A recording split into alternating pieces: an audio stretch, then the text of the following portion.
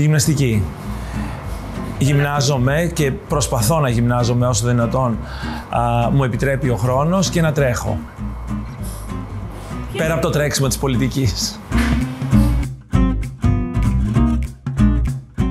Ε, λαχανοντολμάδες.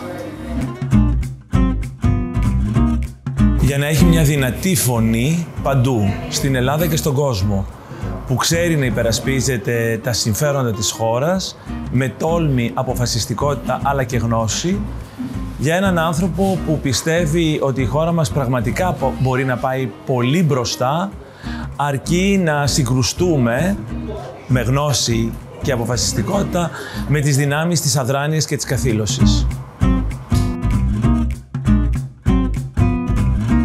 Αν ήταν ε, να κάνω αυτή την υπέρβαση, νομίζω θα έπρεπε να το τερματίσω. Θα πήγαινα με τον Αλέξη Τσίπρα για να προσπαθήσω λίγο να τον καταλάβω και να τον ρωτήσω πολύ συγκεκριμένα πράγματα. Βασικά, αν τα πιστεύει αυτά που λέει.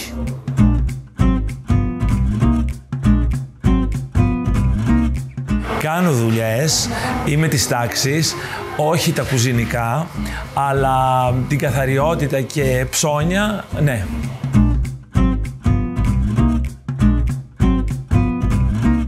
Αρκετό.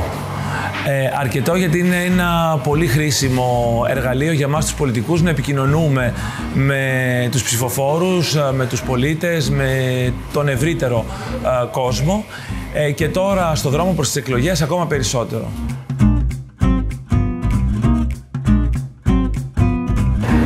My way, Frank Sinatra, για πάντα. Αν είναι να το κάνουμε, να το κάνουμε με το δικό μας τρόπο, χωρίς α, τύψεις, ενοχές και, ε, πώς να το πούμε, αμφιβολίες.